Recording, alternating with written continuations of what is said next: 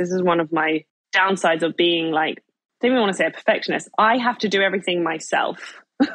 to delegate, I think, is one of my hardest things, which I'm still learning today how to do. I like to do everything myself. I like every cake to have my finishing touch before it goes out the door. Then I had to make this decision of is this sustainable? I'm not going to be making 30 cakes a week on my own. Like, come on here. If I don't try it now, I will never try it. I'm like guarantee. I was 28 at the time. And I did it. I literally packed up my things and I moved country on the 4th of March in 2020. Now, let's talk about that cake you're about to go make, maybe even while listening to this podcast. I want to know what you're going to present it. A basic box with extenders wrapped in cellophane? I really hope not. There really is a simpler way to go about this by using Olbaa tall cake boxes. They're super strong, luxurious, they assemble in a minute with no extenders, no cellophane, and no fuss. Best of all, you get peace of mind when you hand it to your customer for its journey home, knowing it will arrive safely. You've just spent hours making that cake, so why not present it in something that shows it off? Check us out at www.olbaa.shop. Georgia was one of the first people I approached about Olbaa boxes when we first launched. This is early 2020, just before the pandemic. It's amazing to think three years later, she's on our podcast. Georgia has done so much in baking in such little time. The home cake business. She went to a commercial kitchen. She supplied cakes to brands like Harrods. She's done training and classes. She then moved the business to Israel. I mean, she set up an in person cake school. She partnered with somebody. And then she's also, during all this, built a very successful YouTube channel.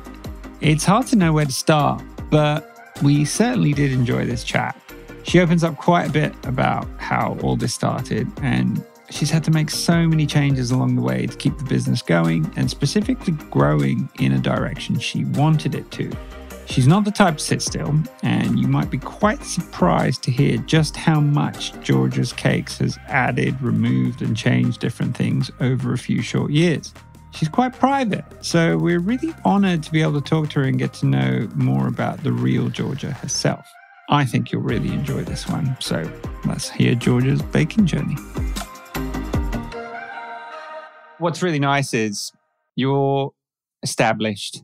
And as much as you may not think that you are, Georgia, because I have one, two, three, four, five pages of notes here compiled by Rachel about you. Wow. And she does a lot of the research. She does all the research. What am I talking about? On all of our guests.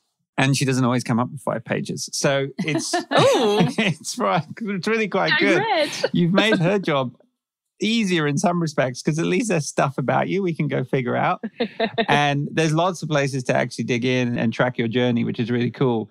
But what's interesting is nobody, or I can't say nobody, a lot of people will know this who've researched you, but a lot of people won't know this about you is that you really were going to go study nothing to do with culinary skills or cakes or anything like that. I would even call you a bit of a nerd because I'm a nerd. Like you're good at maths, you're into like architecture. You got me. But then you also have the creative, obviously, because you really you like photography. Your interests are varied, but it's not like you're just 100% creative you're on both sides, right? No, exactly. Yeah, I think that was part of the struggle.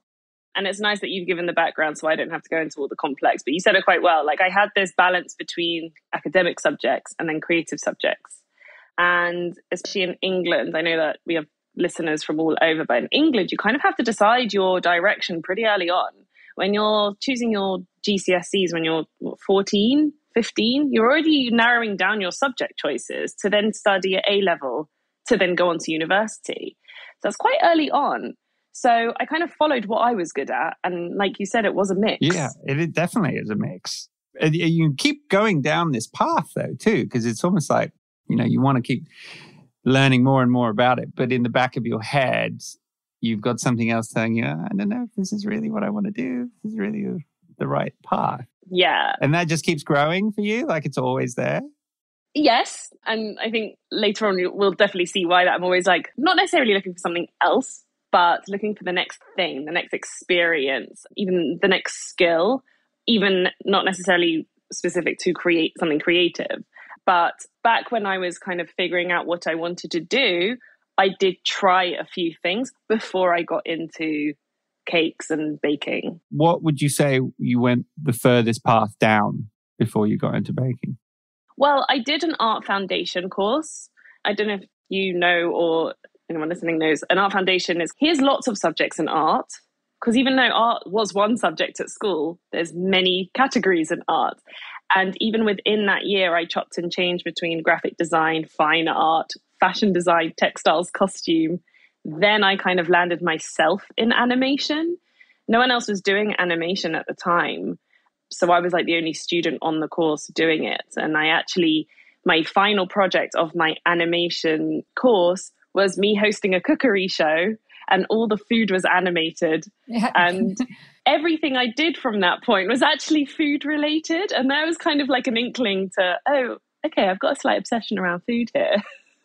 yeah, because I understand too from your animation time, you realize too, you're not the person to just sort of sit behind a screen and just you know you're not really you're using your hands but with a mouse it's not really the same way right and no. you're not you're creating but you're creating behind this wall and it's just a very different approach and i don't yes. think that it didn't sound like that gelled well with you no and also what you have to understand is when it's well even growing up dream job at Disney sounded incredible, but the reality with animators is that it's all computerized.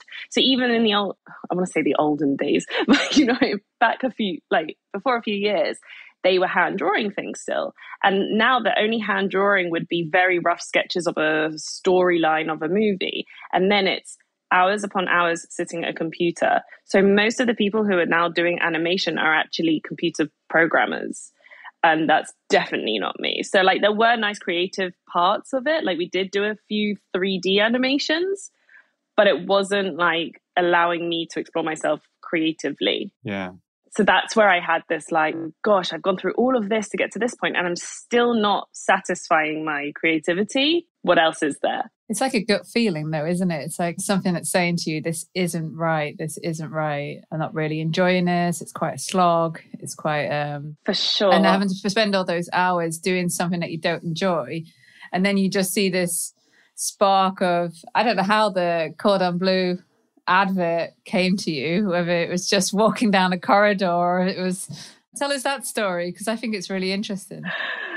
yeah, so again, I think this like inkling at the back of your head saying that this isn't right, but right there in front of you, you kind of had no choice. And especially for me, and don't forget, it also costs money, all of these things. So, yeah. meanwhile, like, uh, even though, yes, you can get student loans, it was still money spent on the education. And then it was actually a girl who was doing the same course. And I was, I kind of was like, oh, we've got this lesson today. And she's like, it's a bit weird that you're not excited like I am. And I was like, wait, you like what we're doing? and she's like, yeah, I love it. I'm excited to come in every day. And I was like, yeah, I'm not. And she's like, I think that's a sign to say you're not fully enjoying the course and this isn't for you. And that was at the same time as I can't remember where I saw the ad, but I do remember missing a day of college, literally bunking because they were quite strict with our attendance. And I just made my way to Cordon Bleu and saw this open day. And I was like, yeah, I'm not going to tell anyone that I'm here. I didn't even think I told my parents. And it was like that. I got a cartoon mind. So you can imagine me walking in and going like, my big eyes open. And I'm like, oh my God, like people do this as a living. And then like walking through the school is amazing because they have these windows in the classes. And I was just like with my hands on the glass, like, oh my God, I'm so jealous of everyone here. And I hadn't had that feeling about anything else prior to that moment. Then I had the conversation with my parents, and they said, again, changing your mind. like, anyway, this is the last time. This is your last chance. And I was like, I promise it will be worth it. Yeah. And hopefully I proved to them the decision was, but 100%. I can totally relate to that. I feel like I was, I was going to go and become a surgeon like my dad in university and and then I was in university and I started working in technology as my job in university was to teach professors how to use computers because we would just start getting computers and the internet and I had no idea. And I realized that teaching these professors how to do this was also getting me favors because it meant I didn't have to do my homework on time. I could bring it in late. I could uh, coordinate exam times with them as long as I made sure I was giving them the appointments to teach them how to do stuff. And I was really having a lot of fun. And I said to my dad, I don't think I want to do med school and all that. And was like, Ooh, I don't know. You're on a slippery road there. Where are you going with this? So I've already got a job Yeah. lined up when I graduate. They're going to pay me this much money. It's going to be great. He's like, All right, six months. I'll give you six months. Let's have another chat. Six months later, how's it going? Oh, I've got another job. They're going to pay me more money in tech. At that point, he's like, Yeah, okay. I've lost you now. You know, fine. Yeah, it's at first like I think we're all kind of set out as like this uh, with this expected path, and then in reality, there are other options out there.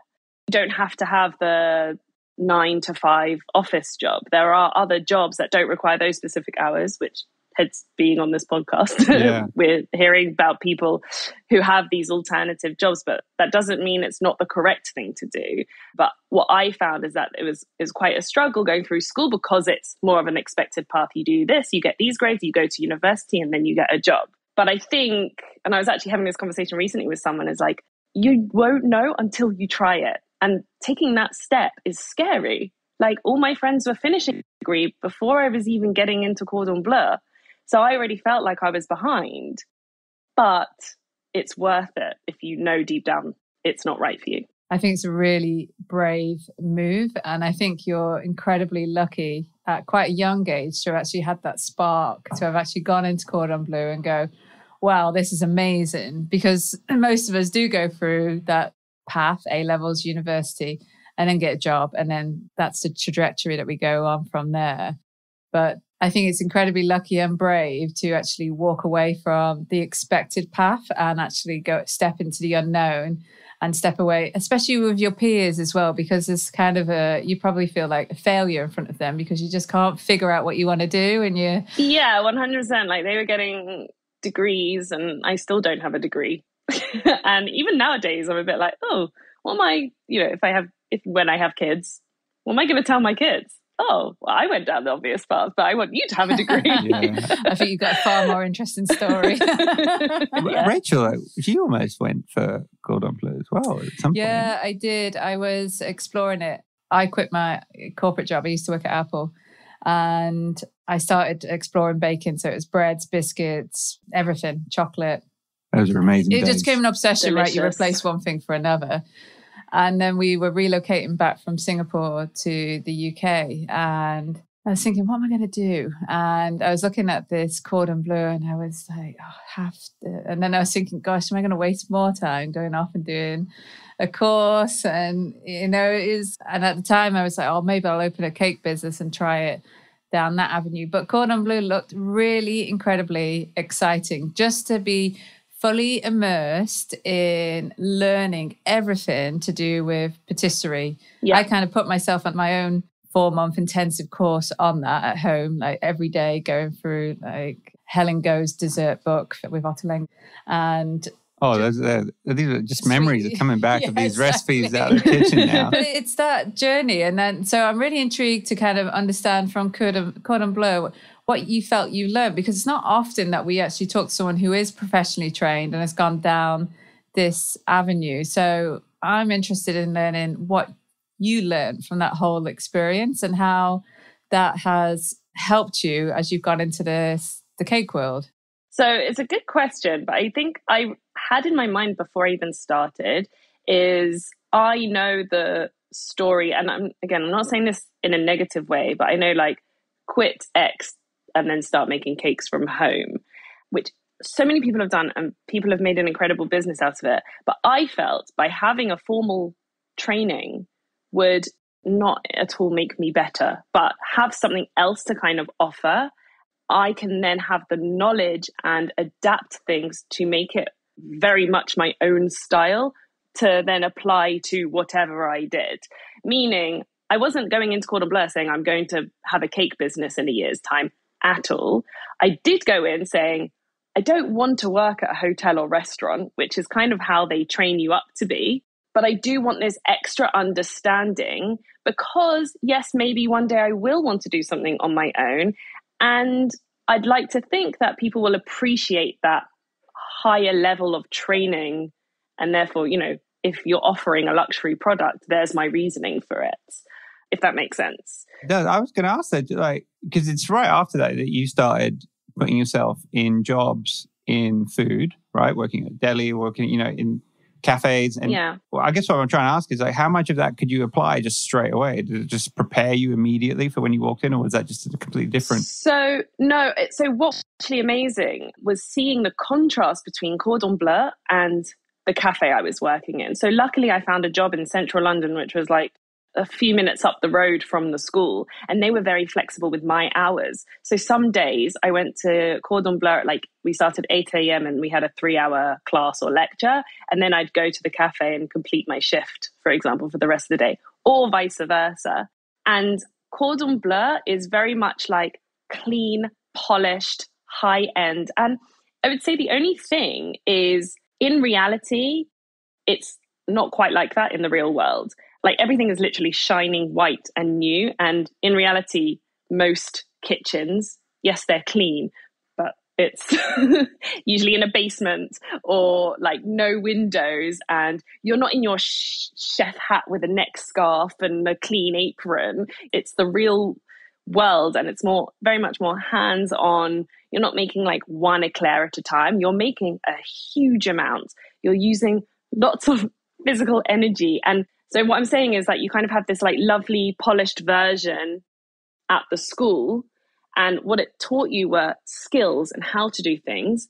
But in order to bake at larger quantities and how to see uh, how a business runs was coming from my work at the cafe. So i had a good balance. Other people on my course still had regular jobs going on the side or they were just doing this for the time being. I was actually the only one in my small class that was working in food at the same time, which is kind of how I think I reflect of my work today is kind of this in between. At the cafe, we were making flapjacks, cupcakes, brownies. At Cordon Bleu, I was making a croquembouche and entremets.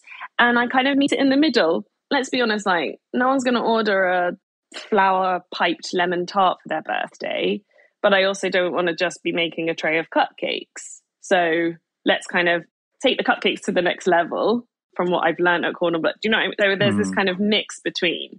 And it started back then when I had the job. So I was getting both sides. Yeah, I can see that now. It makes a bit more sense because you're getting a bit of a dose of reality and formal training and just blending those in.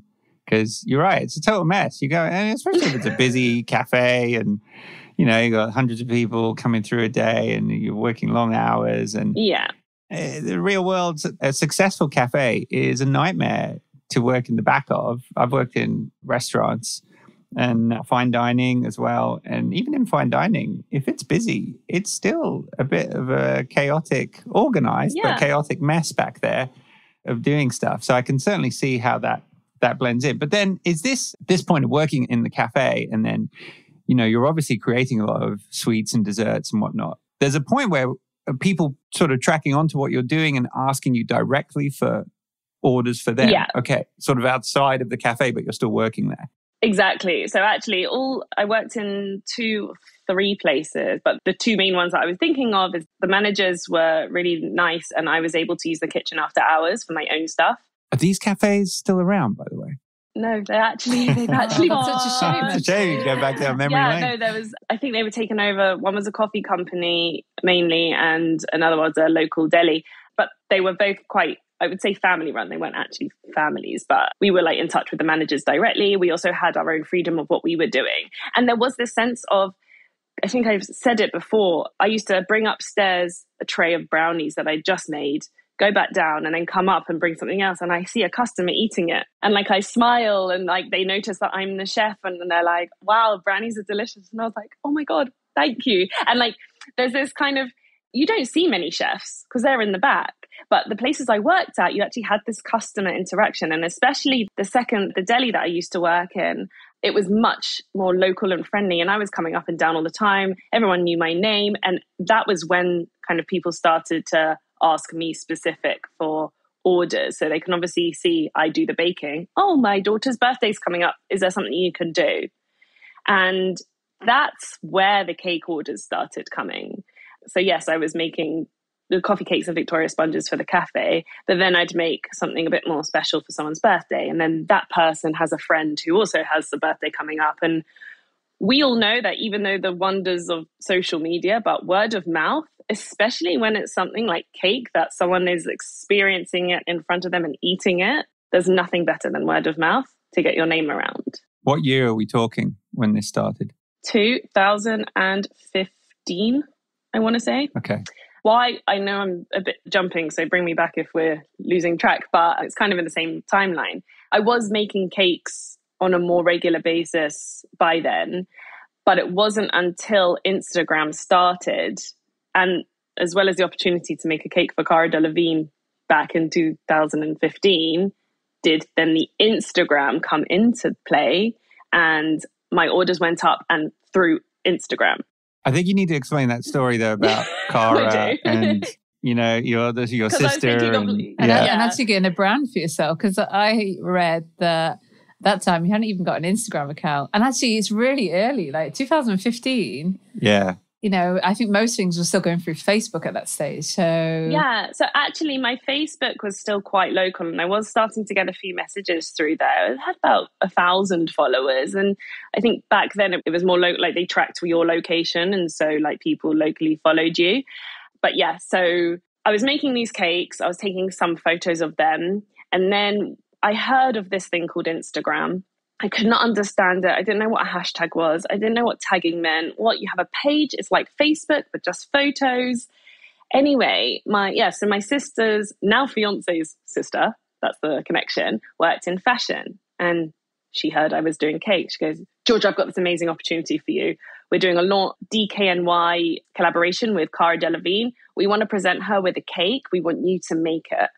And I was like, wow, that sounds cool. Oh, and she's going to tag you on Instagram. And I'm like, wait, what? and so, like, in a week, I made this account. I put some awful photos, which I think I ended up deleting because, you know, when you first got Instagram, you, you were obsessed with all those filters on it. so, oh, like, I was doing these Borders filters on filters. these oh, like with the, but yeah, horrible colors. And, but I just had to have something. And also you have to think of your name. Yeah. So in panic mode, what do I call my? Oh, I'll just do Georgia's cakes because what else can it be called right now? And it stuck. And anyway, so I made this cake. When uh, it was out of fondant, I kind of made a jacket of one. It was one of the pieces of the line that Cara was had collaborated. Again, looking back on it, and I don't work with fondant anymore. And I was just like, oh my god, I can't believe I presented that. But anyway, at the time it was great, and I presented it to her. And my sister, so she she's four years younger than me. I can't now work out how old she was, but she's like very much in the Instagram era. And she was like, whatever you do, get her to get your details and tag you. That is the most important thing. Like, okay. So I like gave this cake to Cara and I was like, I made it. And she's like, oh my God, it's amazing. I was like, can you tag me? And like, I didn't even believe myself because I right still question. wasn't quite. She goes, yeah, sure. Took out her phone, wrote down at Georgia's Cakes. Anyway, and then gave her the cake. She actually tried some, believe it or not. And then later on in that day, I think I came out of the underground and my phone just went beep, beep, beep, with notifications, so much so that like it drained the battery within a few minutes and my phone turned off. And I was like, what's going on? And it turned out she uploaded the photo of the cake. I think at the time she might have had a million followers. That's pretty good going for back then. Yeah. I think, yeah, 1 million was like kind of the top range yeah. of audience back then. And I went from a, a few hundred to, I think, six or 7,000, which literally in a half a day. And then it was from that moment I had this kind of side project and I was like, okay, this is like my new thing now. So every cake I do, I'll upload on this platform, take a photo of it, use some hashtags, and that was became my portfolio. So I always say I had that boost at the beginning, which was helpful and at the right time, supposedly, because I feel like my page grew as Instagram grew. But it was amazing how many orders actually came through the Instagram page after that. Ah, okay. There's really like the launch of your baking brand in career through that. And then all of a sudden, is but is this manageable? I mean, you're taking these orders. You've got a day job still. So had the day job. It was I started at eight. Well, I was actually in charge of my hours, but I made myself get there for eight, which isn't actually too early in the baking world. Yes. But I was also preparing the, yeah, yeah. As, as you probably know, preparing salads and savory things as well. That was me totally like, I like, I say ottolenghi style, like just like good use of vegetables, cooking them correctly, even big pieces of chicken with some nice flavorings on. Nothing, well, I'd say nothing too fancy. Ottolenghi style is like very fancy, but quite simple home cooked food. And that all went out before 12 o'clock. And then the afternoon was my baking time, which I usually prepped for the following day. So it was always a day ahead. And then when I had finished that, everything off my list, I would then stay X amount of hours after baking my cakes. So I haven't even realized back then, before my business had started, I was doing very long working days. I was about to say, but baking is incredibly physical and very tiring on your feet. I mean, just working in that environment, and I'm thinking it's already probably a jam packed day, just getting everything ready for the bakery and very physical and mental as well. It's very draining because you're concentrating a lot and then to be doing these cakes afterwards and liaising back into with customers and Instagram messages and then also yeah. you know delivering these back to customers. And you know there's a lot of you must have been pretty there must have been some really long days. That's all I can think and quite tiring moments. Really long really tiring. I was on my own for a lot of the time and then I convinced the manager to hire someone else to help me. And then what happened is I started prioritizing my own orders. And then I was doing things like I noticed that I was, I would use the word slacking in the sense I was doing the minimal possible. So rather than going over and beyond and over producing for the cafe, I was like, I have to finish by two because I've got my orders. And it happened a few times and I kind of caught myself out in it because I don't like working not to my 100%, whatever I do, if it's for myself, if it's for someone else. And the second that I noticed that I wasn't putting 100% into my work, I thought to myself, something has to change. Am I in that position to stop working at the cafe, stop a salary, and go full time on my own?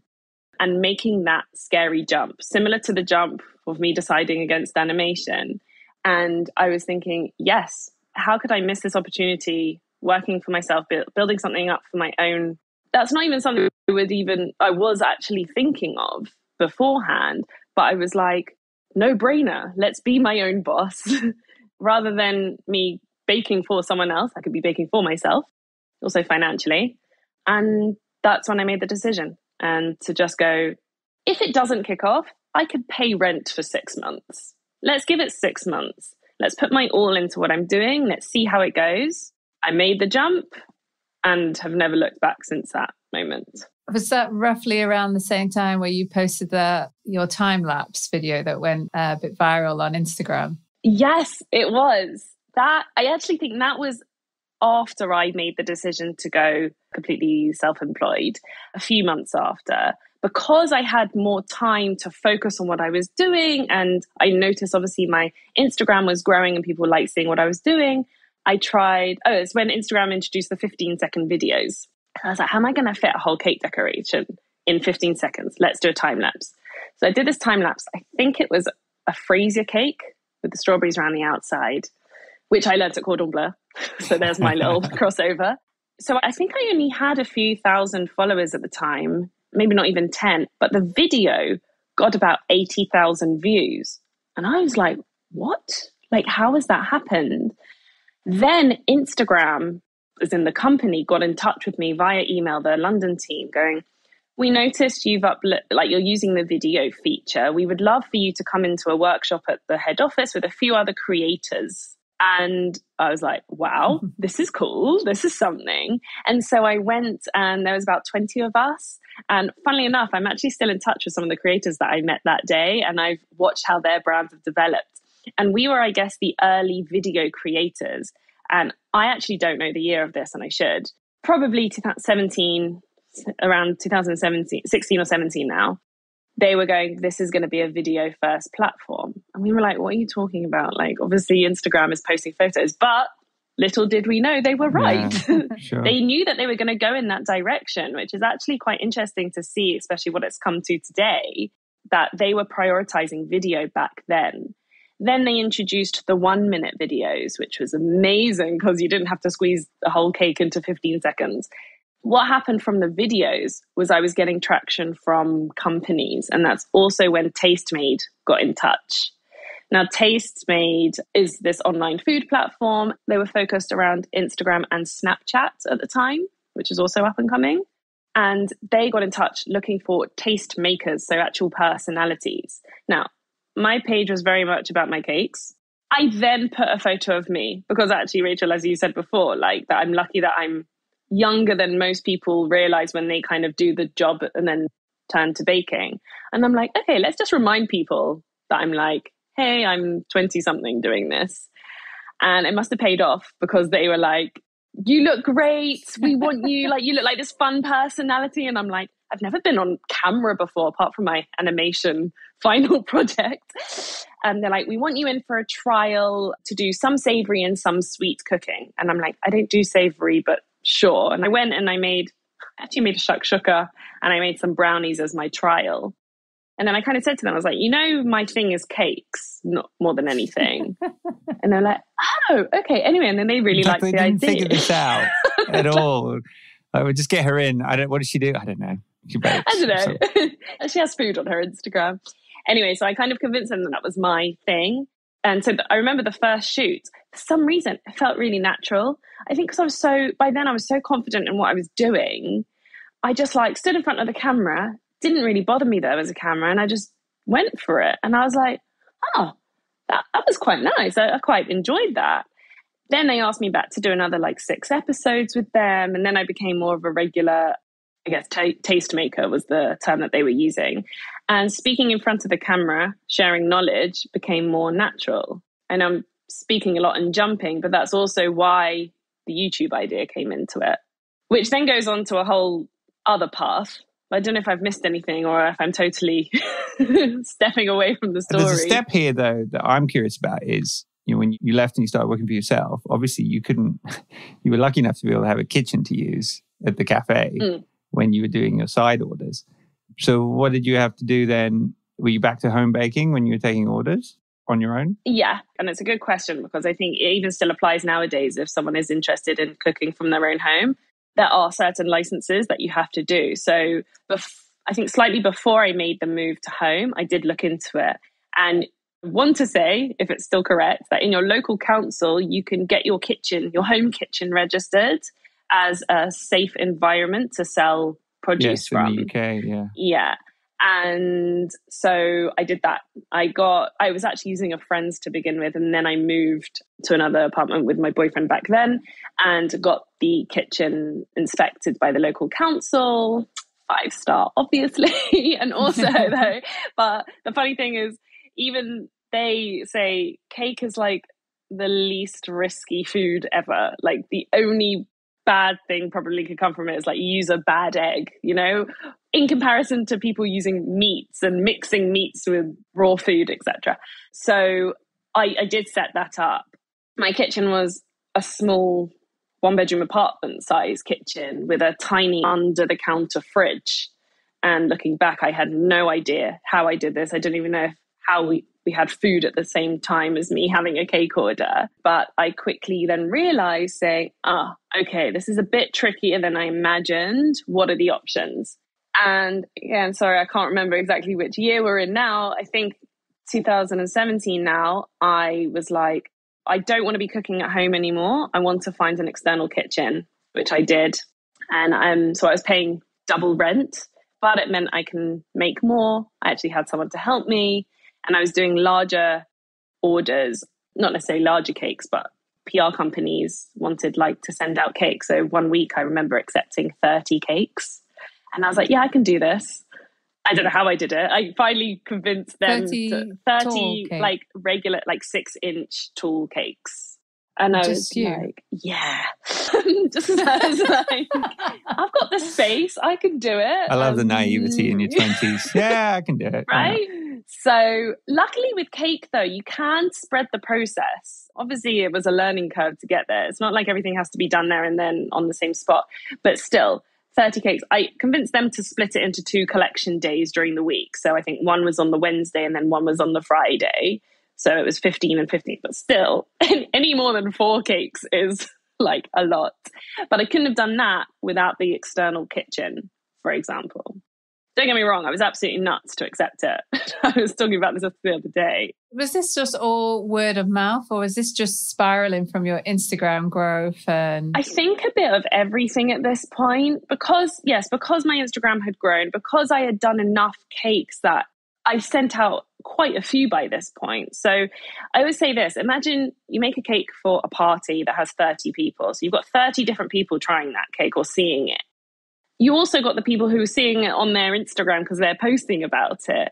Then that's like it just spreads out to another 60 people. And so and you're doing that with several cakes at one time or in the same space of time. So yes, it's quite I don't want to use the word easy because nothing's easy, but it was doable just through word of mouth, especially in like like location wise. If you're looking like I was in Northwest London, but through the Instagram as well, I was getting the odd message, oh, I'm getting married in the north of England or in the Cotswolds or something. And I was like, okay, this is big. I started using delivery companies. I'm trying to think if there was a point where I was like, I'm going to build this huge cake empire. But I think, and I guess this is one of my downsides of being like, don't even want to say a perfectionist. I have to do everything myself. to delegate, I think, is one of my hardest things, which I'm still learning today how to do. I like to do everything myself. I like every cake to have my finishing touch before it goes out the door. Then I had to make this decision of is this sustainable? I'm not going to be making 30 cakes a week on my own. Like, come on here. Again, I know I'm jumping, but this was at the same time as me creating my YouTube as well. I had someone film all my YouTube videos and I was like, let's just see what happens because people were more interested in how I made the cakes. People started asking for recipes, not just selling the cakes. And at first I was like, no, these are my secret recipes. But then I was like, oh, like they're not me. They can't exactly create my exact design. Let's teach. And so I opened the YouTube channel and that naturally grew quite quickly. I think after 1000 subscribers. You can start monetizing your videos as well. Yeah still is 1000 is it? And and i was like oh there's a nice little extra revenue coming in from that. So by this point, we're losing count here, but like had the Tastemade thing going, had I was selling cakes and I was still doing everything myself. And then I think I kind of was way too overwhelmed with everything and then decided to kind of almost strip back as to, you know, let's become more of a person behind the cake, only accepting X amount of cakes at one time because overworking is just crazy. I ended up getting rid of the external kitchen and just buying a big fridge to stay at home and focused on like less more special cakes, less quantity and more wedding cakes, larger cakes, special and let's be honest, higher priced cakes, rather than going down the large quantity. I want to talk about cupcake boxes, especially if you need room for tall ones or floral cupcakes. There's never really been a cupcake box on the market that gave you the confidence to safely transport them without damaging them.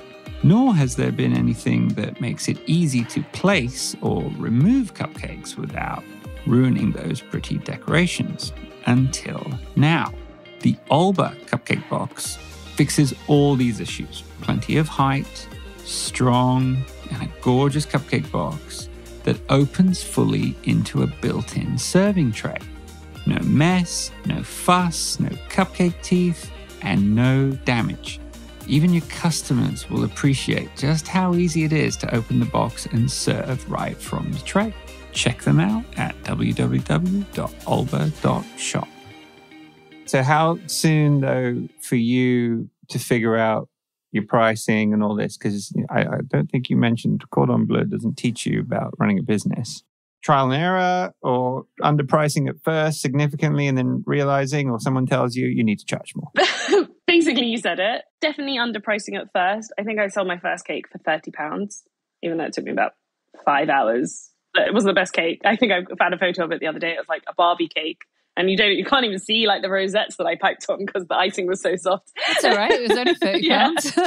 what do you expect? Exactly. And then I think with pricing, it's really difficult because I don't think there's one way of doing it.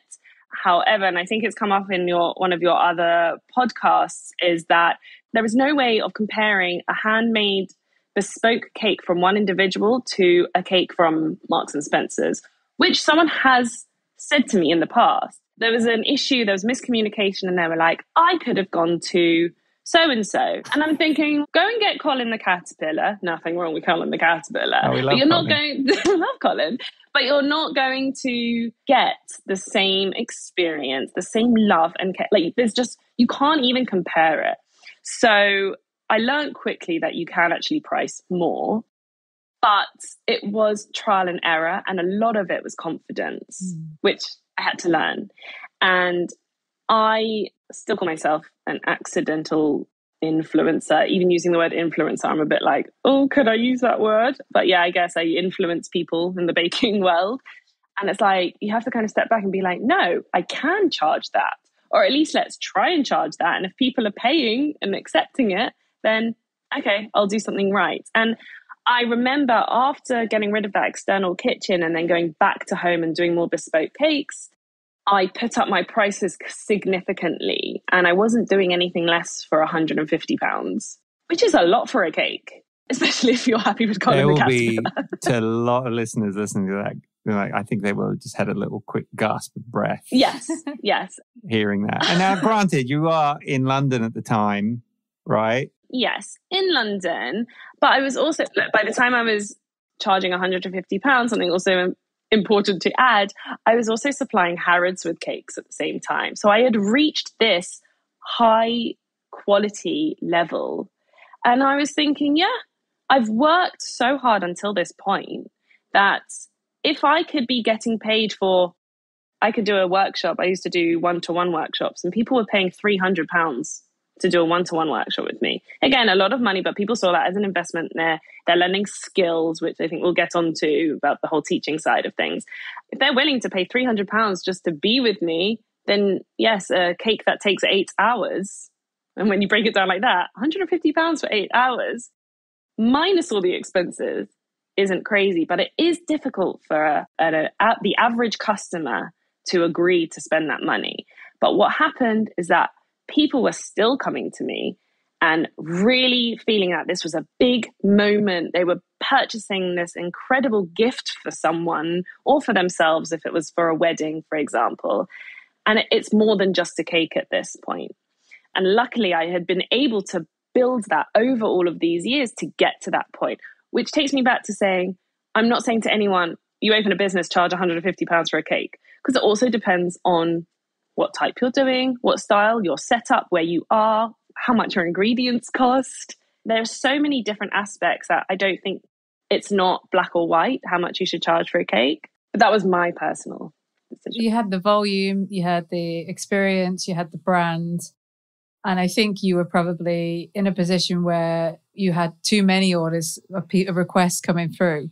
So at that point, you either go two avenues, which is expand and they open a much bigger premises and bring on a team of people and keep that same volume or increase your volume, make more profit.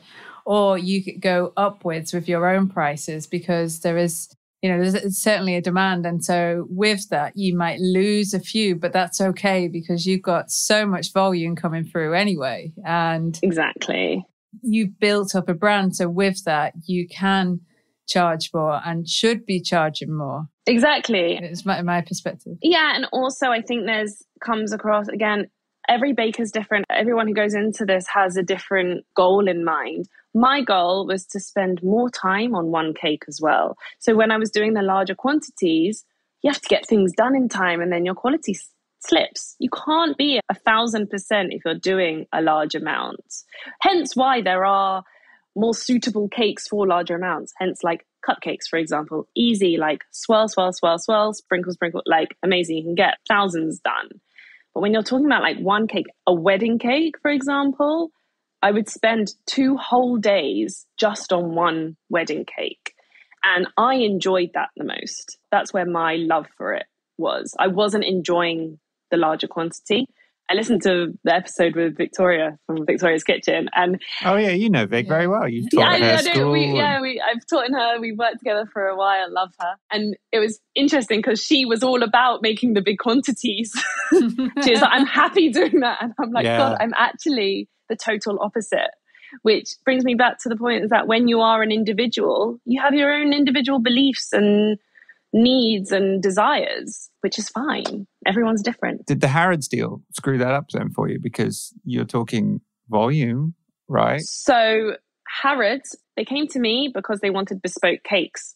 So it wasn't like every day I was sending 10 cakes to them, etc. It was a customer would come to Harrods, they see a dummy display of my cakes and others, order it, and then the order would come to me.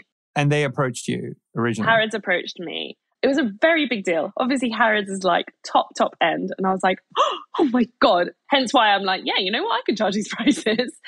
the thing with Harrods was I saw it as a marketing thing more than anything.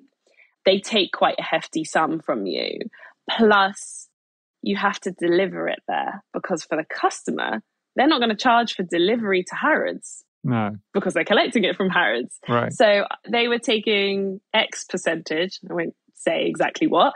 And then you had to cover the delivery charge. Now, from my location, it was about £30.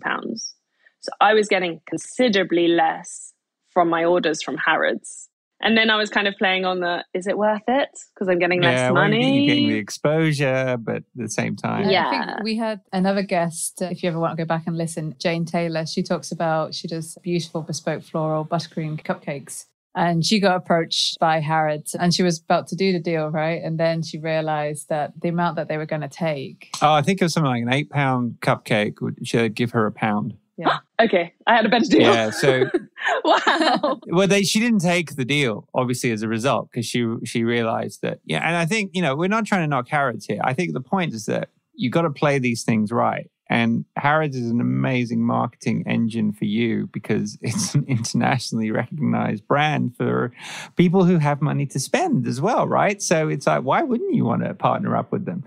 But it has to also make financial sense for your business to work. And again, if you're just trying to do that and you're, like you've already alluded to, your focus is like you want dedication to really less cakes, but more quality. Yes. It kind of can work, but it kind of cannot. Like if they are only throwing one cake at you a week, happy days, right? Like, you know, even if you are Mhm. losing out to it, still getting exposure and you still can devote the time, but you can't control how many cakes they bring to you, right?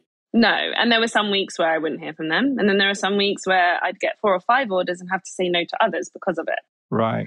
So it was a quite a juggling act. But something to also important to mention that Harrods was also at the same time that I started teaching.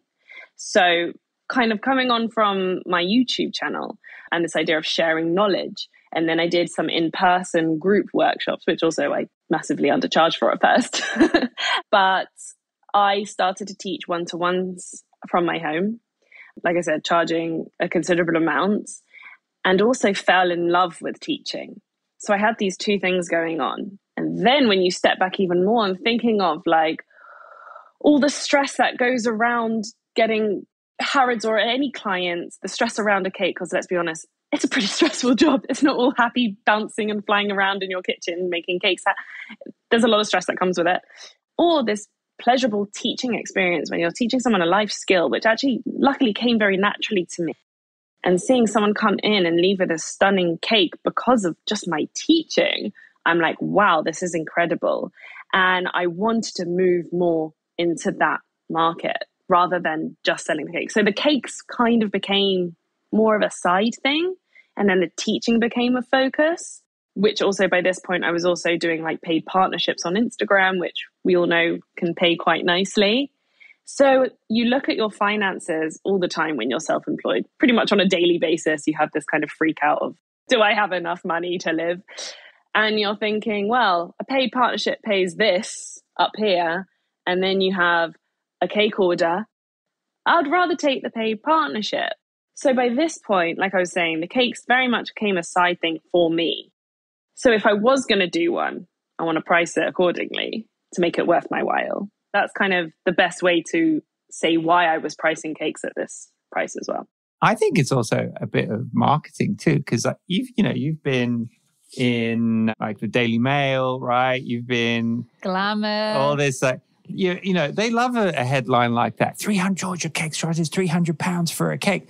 You know it stirs a bit of clickbait too, right? To say what on earth are you getting for three hundred pounds? Yeah. And for those people who do not buy cakes very often, they're probably going to read that. They're going to be the people who read this and go, oh my God. But hey, yeah. look, it's awareness for your brand in many respects. Absolutely. And from working in it myself, I've also gained a huge respect for all those independent small businesses. I think there's a big there's a big wave in England especially. Support your local baker, support your small business.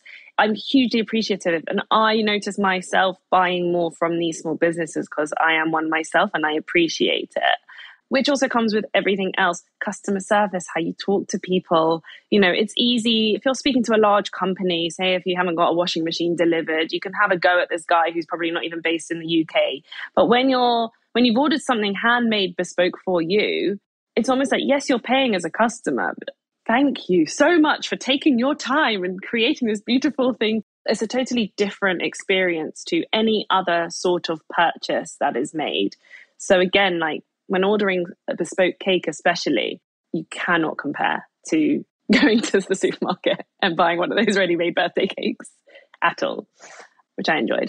Yeah. And it's nice not to have to even explain that to that yeah. customer either. yeah. You know, that whole process.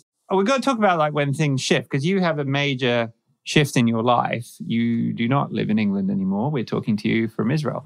So there is a point that comes across here where you change everything up. I shook everyone up. the only thing you've kept so... is your brand name and your YouTube channel. And you're at, the, yeah. you're at the pinnacle of success as well. Well, or perceived, perceived right? Externally, like you have an amazing cake business. You're working with lots of brands in the UK, around the world. You're a TV personality. You know, you're doing so many things. It was kind of like you turn the page in a book and you're like, what? And you're like, oh, when I was reading about you, I was like, I like this girl. She just, because it's like your gut feeling is like, this is not right. Be, and I love you to ex- expand on it. But what I'm doing right now is great, but there's something missing in my life. Yeah. And it did come as a shock to many people. But from, and what I also want to say is, I've never been too open about my personal life ever. Online, like I have thousands of followers, and it's very easy to fall into that trap. I'm not saying it in a negative way because people do it for a living and it's amazing. And like I watch and follow people who happily share everything about their life and it's great entertainment. it's not for me. Just as a side note, I Georgia don't have a personal Instagram, for example. I'm not a very out there person with my personal stuff. So, not many people know I'm Jewish and I have a strong connection to Israel. I have family here. I've come here many times on holiday during growing up, seeing my auntie, my cousins, my grandparents now live here. So, yes, to people, it was a shock and going like, why Israel? I was like, oh, for me, it's like so normal. I'm here all the time. I've got best friends living here. And there is a sense of the style of life, and I'm not just talking about the weather because it's hot and sunny most days, but it helps. I just wasn't feeling 1000% at home in London, even though I've always grown up in London. It's this sense of I'm missing something. It's something I've wanted to try since the age of 14, 15, because I spent a month here when I was that age. It was always at the back of my mind. And what was happening at the moment is I'd cut down my cake orders, like we spoke about. I was becoming more of a personality online, virtually. And yes, I was teaching the in person workshops, but I was getting more and more opportunities online. And my YouTube was very much grown by then. And a part of me was like, I could probably continue this, not being located in the UK. Let's try. No, no one's saying this is forever, but I did make the decision because I was almost like, if I don't try it now, I will never try it. I'm like guarantee. I was 28 at the time. And I did it. I literally packed up my things and I moved country on the 4th of March in 2020. Oh gosh. but before we Talk before we go timing. into the timing, can you just share a bit about how that was building up that feeling because you know this, this doesn't just happen overnight it is no. it is probably months and there's probably quite a few tears there's probably a lot of discussions to make that big decision and go a different path can you share a little bit how you were feeling at the time absolutely so i think because i had always known i wanted to try it it wasn't so much of a big thing but i think it took a lot of time from especially my family and friends to realize it that I wasn't kidding around. I was actually going for it. And I think there was obviously a lot of questioning of what's going on with your business. And I was like, I've got confidence that I will continue doing what I do, just more online. And the beauty about being here is that it is, it sounds far away, but it is actually only a four and a half hour flight. It's like just at the other end of Europe. Like I said, I've got family here. My family in England are constantly coming across. And it was this very commutable idea. So it's not like I'm going to live in Australia and you're never going to see me again. It was, I'm going to, I'm going to be over there. Come and visit. I'll come back.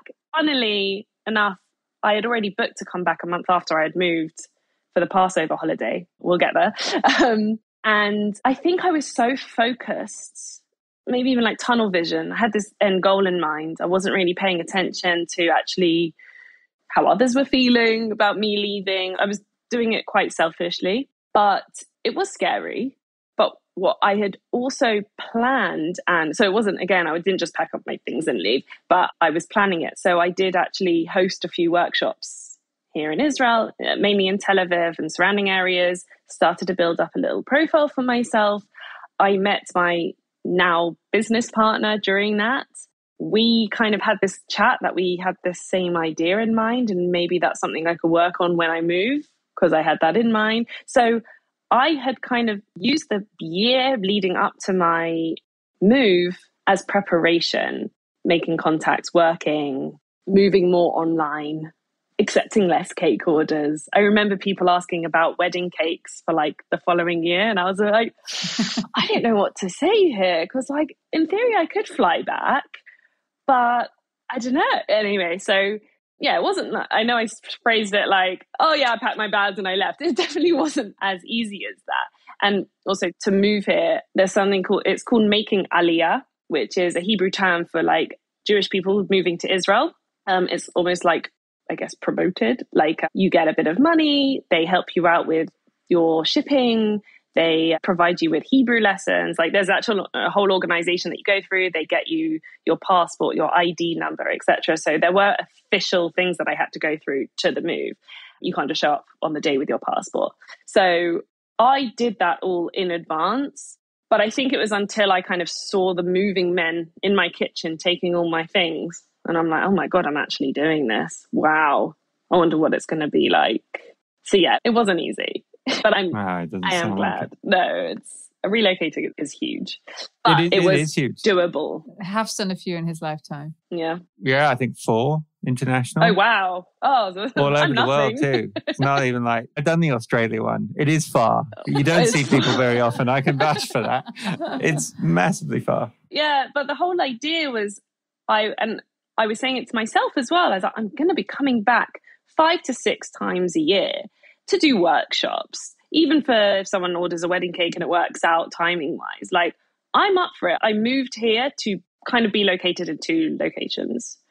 But like I said, March 2020 was not the best month to make that decision. Obviously, we all go into lockdown, and at that point, you start doing a lot more your back to basics YouTube series, which honestly is like talk about timing like phenomenal i mean it, and it's been a phenomenal success as well but the timing of doing that and you being stuck quarantined stuck at your i think it was your friend's apartment with her basic kind of baking I'm needs because I, i'm throwing myself back to she had this bench with the kitchen behind, but no one saw what was in front of me. it was like her sofa with her cat. They were watching TV at one point, you know, like no one was leaving.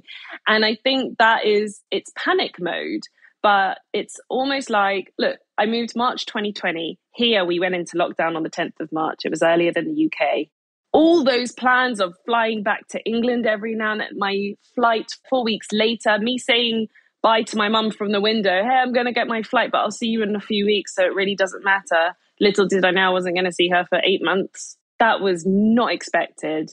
So everything i thought i would was planning totally like collapsed in front of my eyes. And I was thinking, what can I do now? And luckily, the friend I was staying at, her now husband, was a photographer. He had a camera that can record. I was like, great, I've got my laptop. let's do this series. And funny enough, even though a lot of my cake decoration videos do quite well because people like watching them and learning from them, the Back to Basics series, I saw so many people recreate my recipes from that. And I was like, wow, okay. Plus, I was doing virtual one to ones as well, which something I had no idea how it was going to do. And luckily, I had that first person to go, yeah, I want to do that. And I was doing something like this with someone in front of the camera with their turntable, with their cake, and me going, no, take that point. Yes, put that palette knife there. Yes, now turn. No, the other direction. Yes, that's it. And I was able to guide someone to make a cake through a screen. And I was like, wow. So actually, the idea of doing something online and still continuing my brand was proving successful. And but it's that point which I'm sure many people went through is, oh my God, what do I do in this moment? Panic, panic, let's think on our feet. And that was me thinking in that moment of what I could have done there and then. And it helped me get through the toughest time and hopefully one of the toughest time in all of our lives that we've experienced. Plus having moved country. That was like irrelevant at this point. Yeah. I think it's great because it's in the sense it's just forced you to have to come up with something, a strategy, which has worked. We've seen that time again from bakers that we've spoken to when lockdown hits.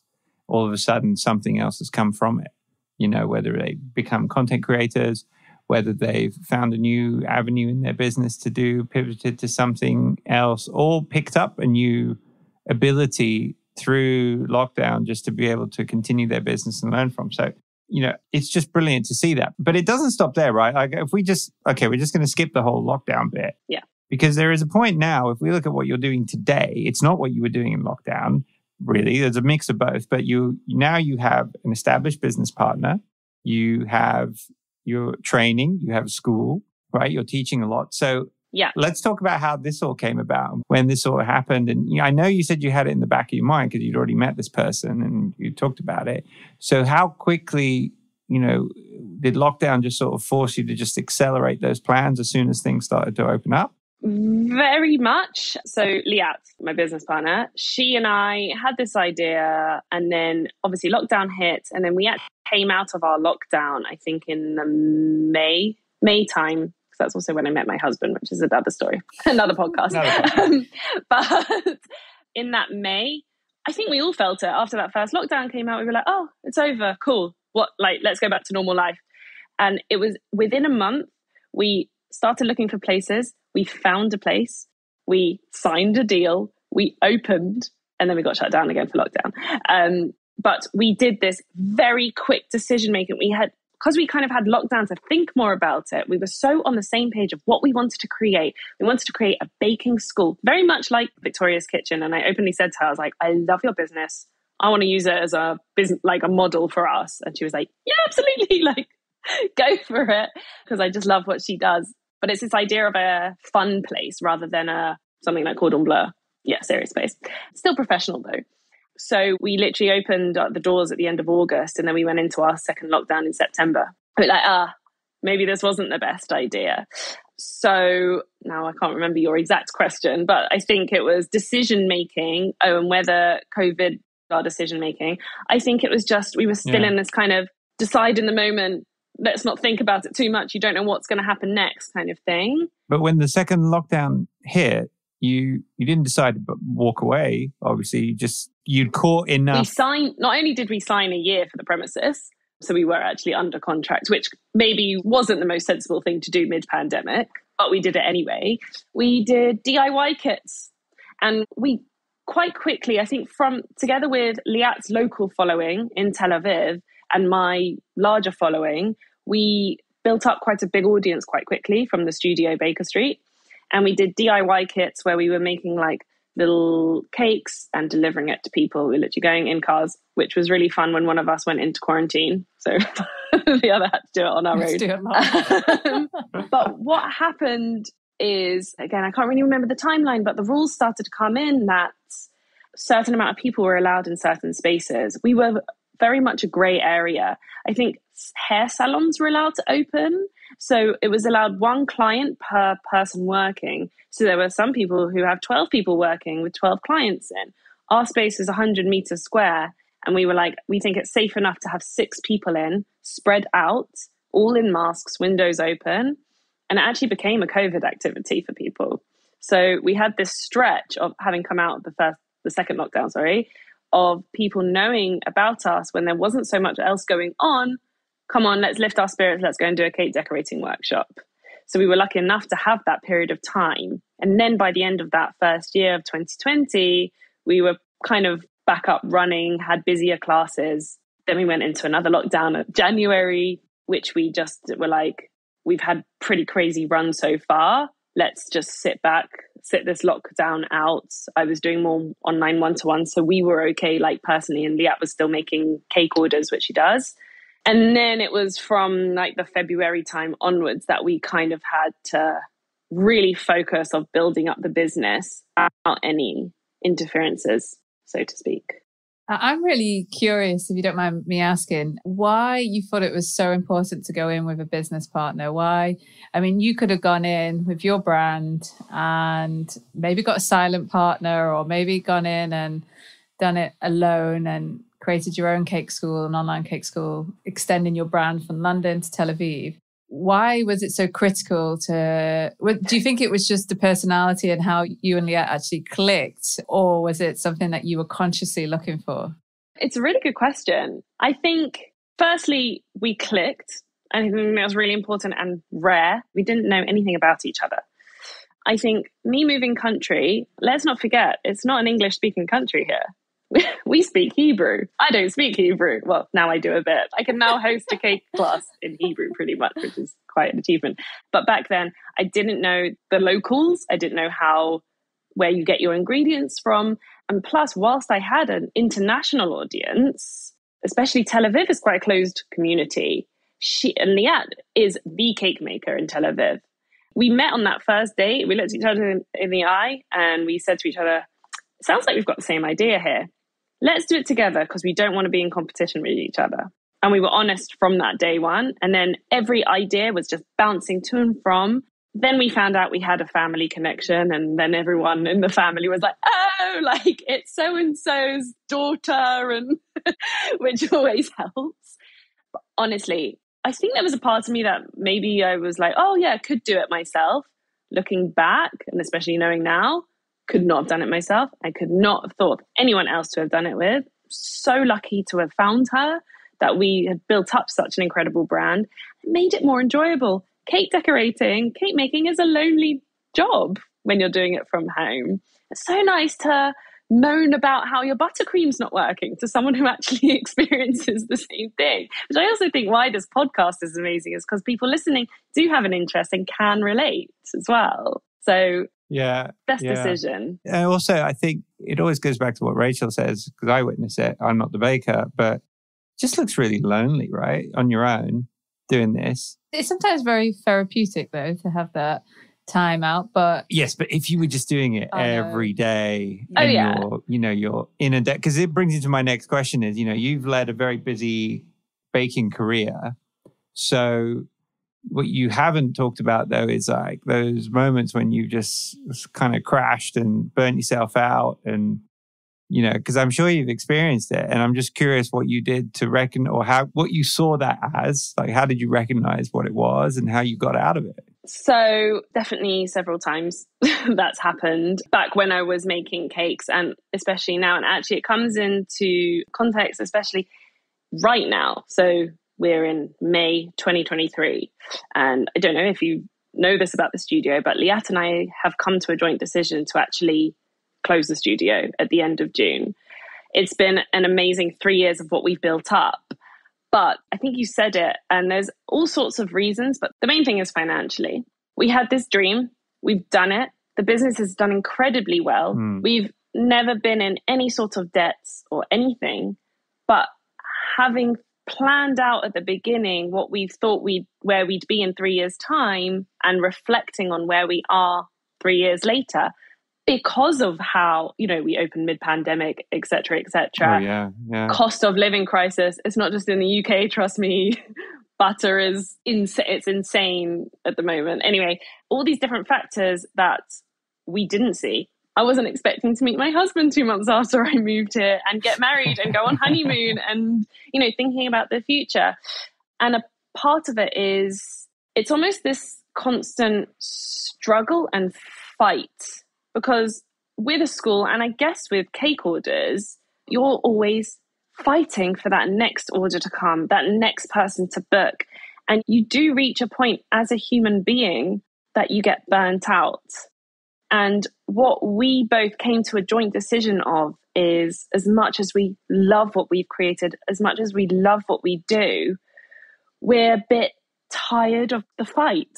And yes, we've paid the bills at the end of the month, but it would also be nice to take home a salary. and like I said, we're not quite at that point that we had hoped to be three years down the line. So let's be sensible and make a decision whilst we've built this amazing brand. And also, what's important to note, we've also, through Baker Street, the studio, we've done a few online courses. And we're actually in the process of recording another one, which are these pre recorded courses that we do together, which also makes it more fun and yeah. are sold globally, which we do get paid from as well. So let's focus on the this amazing thing that's come from the studio. Let's do the sensible move of closing the physical doors and also focus back on ourselves and what I've been building up over all these years. And I know we've like raced through that three years, but it's just been this crazy insight of what it's like to run a baking school, what it's like to do absolutely every little bit of the business, speaking with people, social media, teaching, cleaning, buying ingredients, everything that comes with it, plus doing our own thing. So I still do the odd cake order here. I do my YouTube channel. Liat still does her cake orders. And then so we can kind of just go, enough fighting. Yeah. Take a moment. There's only so much one can do, and it's okay. And I think it took for us to realize if this isn't a failure. This is we did something, and now we're closing the door to one thing and opening the door to another. And it's also come at an amazing time because I'm also releasing my book. So did you know what, Georgia? Just looking back and reflecting on your, I mean, you're still really young as well. I mean, on your yeah. career, but I mean, you've almost gone and dabbled in in lots of things and done really well in them. Like you've built up single handedly a very successful cake business on your own. You've then worked with brands and partnerships, which you continue to do. So you understand that you built a successful social media presence against across multi platforms as well. Then you move country. Then you set up a, a successful cake school. Now you're releasing a book. It's almost like you've doubt and you also i forgot to mention that you've worked in you've been a head chef in cafes right and restaurants and so you've learned had all these experiences and each time it's like it gets to a point where you're like all right maybe i should do this or try that. You're not willing you keep pushing yourself and you keep it getting to a point where you go all right i've hit some doors here. I'm going to go push this door and let this door uh, let, close that other door. And i think it's really brave. Thank you. It's really refreshing. And because it's not easy to let go of something. It's not these are your babies that you've yeah. let go of. And it takes a long long time sometimes for that to settle and let go. But it's almost like you're always uh, at the next all right, what's next? Right, I've got my book. what's next? yeah, the other thing too is I actually I quite appreciate you sharing that you making that decision to close that part of your business here on our podcast. That's very I feel quite like wow, broken some interesting news. But I think this news though it really just summarizes the challenge of being a business owner, entrepreneur is and versus the outside world looking in at what it's like to be an entrepreneur and how you rate success and how other people rate success and the pressure that you put on yourself versus what other people see.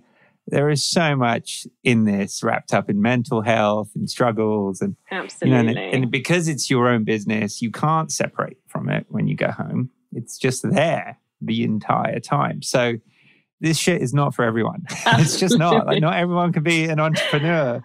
And you just find ways to manage the stress and anxiety on a day to day basis. And you find so much out of it, but you have to look for the long term. And I think that's what you're doing. What you're, you're moving pieces around this puzzle for the success in the long term. Because while you have certain things that are doing very well, some things aren't doing as well as you want them to be. And that's why you're making changes. And I think you, as long as you stick to that and you which you are, and you don't let other people think, oh, well, then she failed at this. I, you can't say that because I don't Yeah. think you failed. Like if you went and asked you of the people who went through your class, did you enjoy it? Did you learn something? Who's going to say, no, I hated it. I didn't learn anything. It's just not going to happen, right? No, exactly. We've taught hundreds and hundreds of people life skills. We've learned so much. And it's something that a couple of things that are important. One, I never regret anything.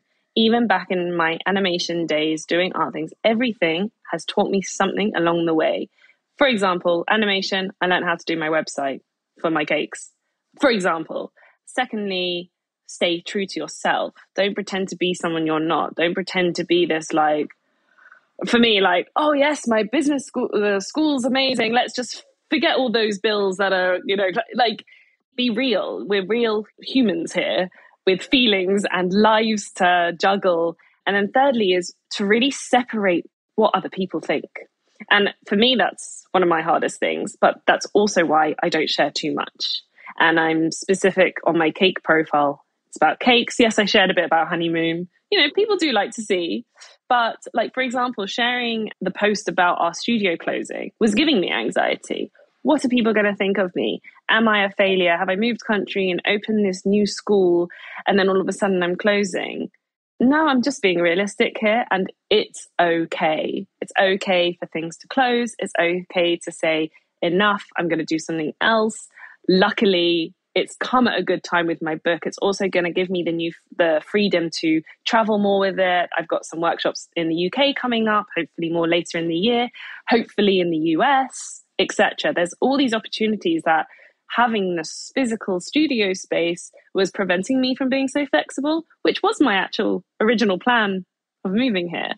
So it's kind of like this lovely circle. And like I said, three years later, I've improved my teaching skills. I can speak another language, kind of. If anyone who knows me was probably laughing because I think I can. But I've developed these huge skills that I would have never been able to do having not have done this journey. There's no right or wrong. Everyone has their own story. This is my crazy Yeah, story. I think it's a lovely story. and. I don't regret one bit of it. Exactly. And it's just, it's nice because there's a lot, you know, even though I've got five pages of notes about you, I still don't know who you are until I sit down with you and talk to you in person to You say, made me hey, quite emotional listening to your story, actually. But also just such No. really, you know, you don't see it that often. People posting on Instagram like, "Oh, we're closing this." It's seen as, and maybe it's more of an internal feeling like I, I haven't failed, I haven't given enough, I haven't done.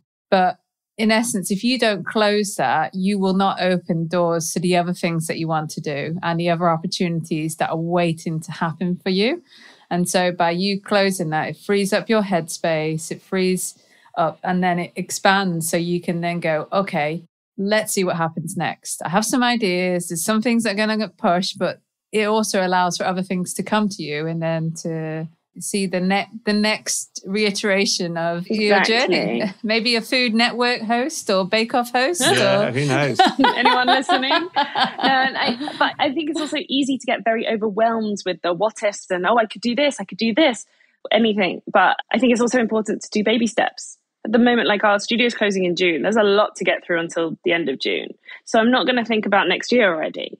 And that's something I think new because I was very much like thinking quite far and in between. I was kind of thinking in the moment I'm thinking far ahead, but this time I'm really gonna take time. It's okay if not everything happens in the next month. It's okay. Let's see. Yes, there's there is financial stresses. Luckily, I've got you know a, like YouTube and other incomes that I have built up over the years, and with the book as well. But yeah, to be really in touch with my sense of knowing what's right for me, taking breathers. I was going to say one of the best things about living here is that on Saturday, it's Shabbat, it's the day of rest, and no one works on Saturday. As a self employed person, it's very hard to switch off. But I've really incorporated that in my life that once a week I switch off, barely on my phone, I do not post, I don't do anything. And it really helps me think clearly about the rest of the week, which is crazy. And I never know what the new week's going to bring, not being in a routine, etc. So yeah, I think it's really helped me get to this stage as well, and hopefully will get will help me get to wherever I end up in the next few months because it's part of the excitement as well. It is. It's great. Well, listen, thank you so much for sharing. We have to finish off with our little tradition of a quick fire question round Ooh, for you. Amazing. First thing that comes to mind, you can explain it, you don't have to. And I'm going first. Your preference, please American buttercream, Swiss meringue buttercream, or ganache? Or is there something else? Swiss meringue buttercream. Okay, very good. I feel like you knew yeah, that. definitely. I just saw one of your latest cakes and it was like, Yeah, sometimes we are surprised though by people. I know, but I can tell. You can tell when someone uses a Mm. Swiss meringue buttercream, it, it's a different texture. One aspect of bacon you won't compromise on. Butter. Very good. I love it. What butter do you get over there, by the Oh way? my God. There's a butter crisis at the moment. If you're lucky, you will get regular European butter. Funnily enough, the Israeli make is a very white butter, which works amazingly well in buttercream. It keeps it white and it doesn't have much flavor. So you actually taste the meringuiness from it. But it sometimes just goes missing from the shelves. And so you run around and getting like one block from him, and then you're like, oh no, I have to spend double the amount on getting like the European. Butter's a whole thing. But I do not compromise. I would rather spend double the price on getting the butter than using anything else than my recipes. Got it. Before you answer this question, I forgot to ask you, what is the name of your upcoming book? Georgia's Cakes. I have it here. George's Cakes. Great. Perfect. Perfect. so you can't use this answer, the, use the book for this answer. Can you share a baking book from your bookshelf, Okay, please? I can't use mine. I think I'm going to go with a classic, Delia Smith. Oh, we've not had that answer. No, we I haven't. still a lot of No. the recipes that I use are based from hers. Classic, like classic things that you can't mess with, kind of works. I thought you were going to say your cordon bleu. Like, yeah, or something. Um, no. Don't think No. I've opened it since I left. who would you want to make your next birthday cake? Can I say me? It can't, it can't be you. no, only because birthday cakes are like my excuse to do something new and crazy that like a customer hasn't asked. Ah, I see. Can you trust someone else with that brief? I could definitely trust Liat, or I would love to see my husband Tal try and make me a cake Oh, there you go. Because he's still one. getting used to what like my style of cake is all about. He's still like cheesecake for him is cakey enough, or like a babka cake. That that's his kind of cake, not sponge and buttercream. That I made a birthday fun. cake for Rach once, Yeah, but it wasn't like to her style. It was probably more to my style. it made this What did it look like? it had like cream and strawberries and a vanilla Victoria sponge, and yeah, it was it was it was. Deli- I thought it was great. It was amazing. I think that yeah, I had free cakes. It was amazing. And as a cake maker, you get so sick of cakes as well. Right? yeah, exactly. It's like, well, you're never making this, so I'm going to make it. anyway, listen, thanks, Georgia, so much. Really, really you. appreciate that and enjoyed it. And I'm sure we're going to see so much more coming out of you in the and next good year. luck with the book. It's going to be amazing. Thank you so much. This was so fun. So fun chatting to you guys. And uh, yeah, hope to see you in real life soon as well, not just virtual. very, very soon. Bye. Thank you. Cheers. Bye bye.